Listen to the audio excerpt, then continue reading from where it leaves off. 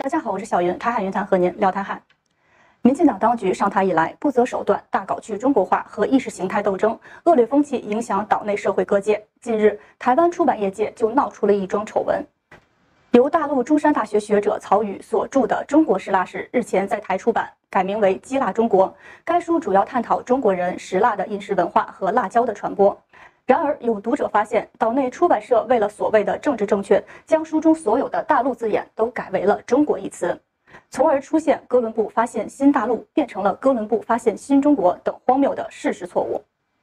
图书出版机构有着传播文化知识的重要作用，却因意识形态而出现了人为错误，岛内舆论哗然。该书作者曹宇随后在社交平台痛批出版社此种行为试图为政治正确而贻笑后世。曹宇说明，该书并未有以“大陆”指代中国的用法。书中所有的大陆都是 continent 的意思，但台湾出版的《基腊中国》却出现哥伦布发现新中国、南亚次中国、欧亚中国等荒谬的错误。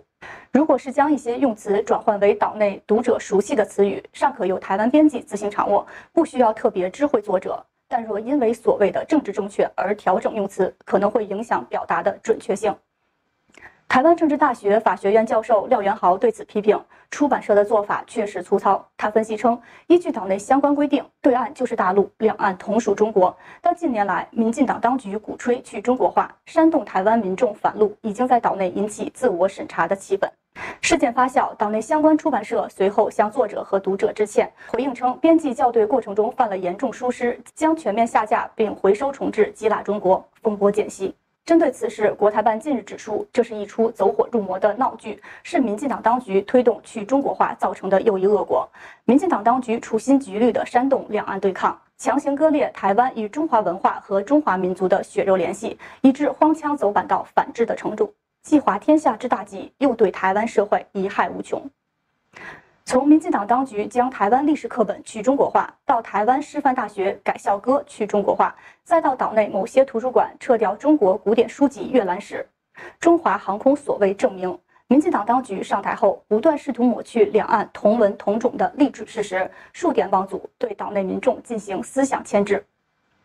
此次台湾出版社闹出这出笑话，正是民进党操弄反陆消极结果的体现。中华文化一脉相承，无论是大陆还是台湾地区的文化都是相互关联的。民进党包藏台独祸心，操作去中国化，不仅让台湾地区文化发展出现断层，也意味着台湾年轻世代难以形成正确的史观，甚至已经让台湾社会变得扭曲，实在悲哀。